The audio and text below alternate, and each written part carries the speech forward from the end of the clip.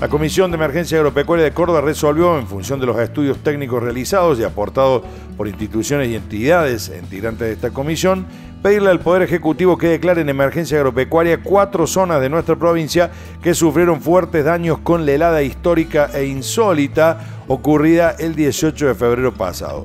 Se delimitaron cuatro polígonos en las zonas afectadas. El primero incluye la zona de la Pampa de Pocho, comprendido entre los departamentos de Pocho y San Alberto. El segundo, la región norte de Río Cuarto, limitando con Calamuchita y zonas de influencia de Berrotarán y Elena. El tercero, aledaño a Huinca, Renanco. El cuarto, alcanza las localidades de San Joaquín, Serrano y Melo, en el noreste del departamento de General Roca y sureste de Roque Sáenz Peña. El periodo de vigencia propuesto para el estado de emergencia o desastre agropecuario es del 1 de marzo al 31 de agosto para las actividades agrícolas y del 1 de marzo al 29 de febrero de 2024 para las actividades ganaderas, tamberas y apícolas.